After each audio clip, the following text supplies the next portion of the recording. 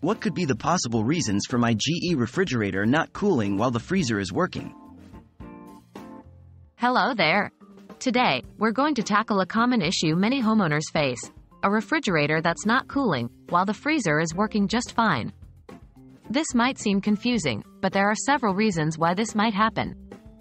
We will walk through these reasons and help you understand what might be going wrong with your General Electric GE refrigerator.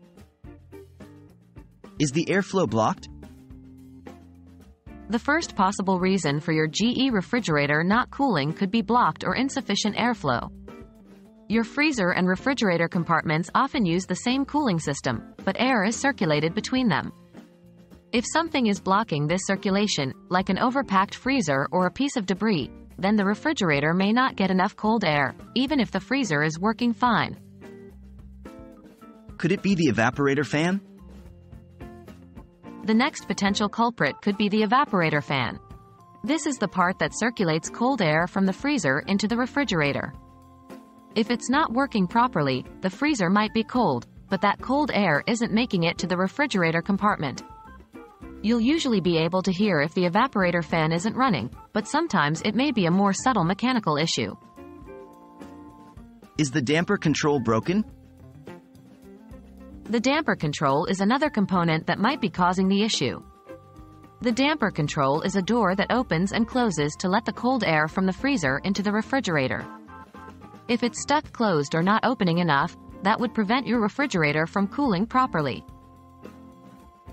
Are the thermistors malfunctioning? Thermistors are another potential problem. These are the sensors that monitor the temperature in the refrigerator and the freezer. If they're not working properly, they may not be sending the correct signals to the rest of the refrigerator system, leading to improper cooling. Is the temperature control thermostat broken? The final reason could be a problem with the temperature control thermostat. This device directs voltage to the compressor, evaporator fan motor, and condenser fan motor. If it is not functioning correctly, it can stop the refrigerator from cooling.